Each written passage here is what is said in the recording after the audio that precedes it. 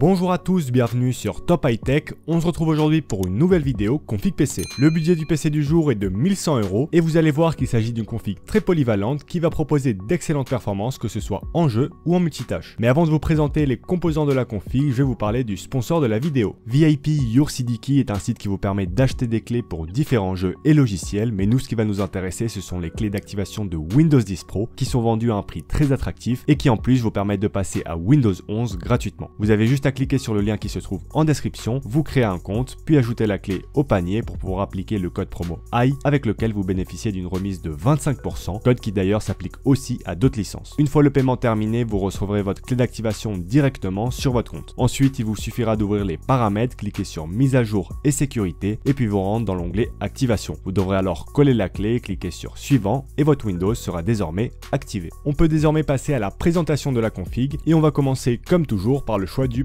Je me suis orienté vers l'excellent Ryzen 7 5800X de chez AMD, un processeur avec 8 cœurs et 16 threads et une fréquence allant de 3,8 GHz en mode normal jusqu'à 4,7 GHz en mode turbo. C'est un processeur très polyvalent qui va exceller aussi bien en jeu qu'en multitâche, donc il conviendra parfaitement à une utilisation gaming, mais aussi pour du montage ou encore pour du streaming. Pour ce qui est du prix, j'ai trouvé une très belle offre sur Rakuten où l'on trouve ce 5800X à moins de 300 euros chez le revendeur Xtra qui est pour le coup un revendeur fiable. En plus de ça, si vous êtes membre du club Rakuten, vous avez 15 euros offerts avec le code Rakuten15. Donc à ce prix, si vous étiez à la recherche d'un 5800X, foncez. Par contre, comme il s'agit d'une version PIB ou off, il vous faudra acheter un ventirad séparément car il ne sera pas fourni dans la boîte. Vous pouvez partir sur quelque chose d'assez basique comme le Be Quiet Pure Rock Slim 2 qu'on retrouve à 25 euros chez Amazon, mais si vous avez un peu plus de budget, je vous conseille de partir sur cette AIO de chez EVGA en 240 mm qui bénéficie d'une excellente remise chez Amazon, ce qui fait passer son prix à seulement 55 euros. Le Ryzen 7 5800X, on va le poser sur la MAG B550M Bazooka de chez MSI, une carte mère au format micro ATX compatible avec les processeurs AMD de 5ème génération. Côté spécification, elle dispose de 4 slots de RAM DDR4 pouvant atteindre jusqu'à 4400 MHz et pouvant accueillir jusqu'à 128 Go, de ports M.2 dont un avec dissipateur, ainsi qu'un port PC Express 4.0 pour la carte graphique, entre autres. Au niveau du prix, elle est actuellement disponible à 98 euros chez Amazon. Au niveau de la RAM, toujours aucun kit à moins de 65 euros, donc je me suis à nouveau orienté vers les Clef Boltix, deux barrettes de 8 Go cadencées à 3200 MHz. Côté stockage, j'ai décidé de partir sur un SSD de 1TB et j'ai choisi le Crucial P2 qu'on retrouve à 82 euros chez Amazon et qui propose de bons débits de transfert, 2400 mO par seconde en écriture et 1900 mO par seconde en lecture. Pour ce qui est de la carte graphique, j'ai choisi une RX 6600 XT de chez AMD et plus particulièrement le modèle Nitro Plus de chez Sapphire, une carte overclockée d'usine avec 8 Go de VRAM en GDDR6, idéale pour du gaming en 1080p et même pour de la 1440p. Elle est actuellement disponible à 439 euros chez PC Componentes, un bon prix pour ce modèle, mais s'il vous intéresse, ne tardez pas trop car son prix est en train d'augmenter. Il y a quelques jours, il était disponible 10 euros moins cher. Au niveau de l'alimentation, je suis parti sur une alim de 650 watts certifiée 80 plus bronze de chez MSI qui sera parfaite pour subvenir aux besoins de la config. Et finalement vient le choix du boîtier, et pour cette config, j'ai choisi le Deepcool Matrex 43F, un boîtier mini tour idéal pour accueillir la carte mère au format micro ATX. Je trouve ce boîtier plutôt bien réussi avec 3 ventilos RGB, surtout pour un prix de 41 euros chez Tekin. Maintenant que la config est au complet, il est temps de la tester en jeu. Et on commence sur GTA 5 où le jeu va tourner autour des 100 FPS en 1080p avec les graphismes au maximum. Sur Fortnite, toujours en 1080p, le jeu tourne à environ 140 FPS avec les graphismes en épique. Et finalement sur Cyberpunk, un jeu qui demande beaucoup de ressources, vous allez pouvoir profiter de 60 FPS avec les graphismes en ultra. C'est déjà la fin de cette vidéo, j'espère que cette config vous aura plu. Si c'est le cas, n'hésitez pas à la liker. Et sur ce, je vous dis à la prochaine.